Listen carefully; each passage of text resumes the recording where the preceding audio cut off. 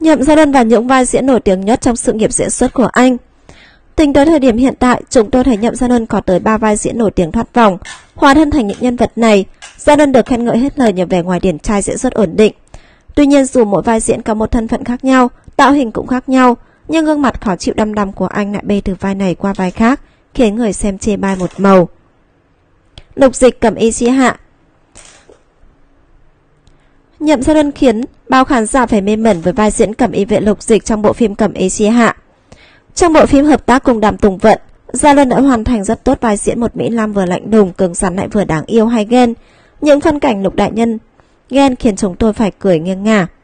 Diễn xuất của Gia Luân trong phim nhận được nhiều lời khen ngợi từ phía khán giả, từ cử chỉ ánh mắt đến nụ cười, đều đan nên khí chất lạnh lùng bá đạo của người cầm đầu cầm y vệ. Thế nhưng có một điểm mà người xem khó tính không hài lòng, chính là gương mặt trao mày khó chịu của Gia lơn Bù lại điểm trừ này, khả năng tạo chemistry của Nhậm Gia lơn và Đàm Tùng Vận cực tốt, cả hai diễn ngọt tới mức khiến nhiều người lầm tưởng họ là một đôi thật ngoài đời.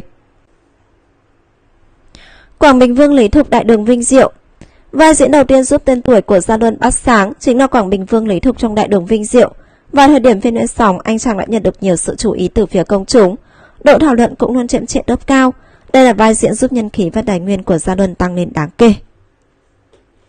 Châu Sinh Thần Châu Sinh Như Cố Gia Luân tiếp tục gây bão màn ảnh nhỏ với vai diễn Châu Sinh Thần trong bộ phim Châu Sinh Như Cố. Nhân vật này gây ấn tượng đầu tiên với khán giả nhờ ngoại hình đẹp trai hết nước chấm.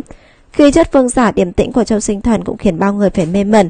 Ngoài ra mối tình bi thương với thời nghi bạch lộc và cái kết thảm cũng giúp cho Châu Sinh Thần chiếm trọn cảm tình từ phía khán giả.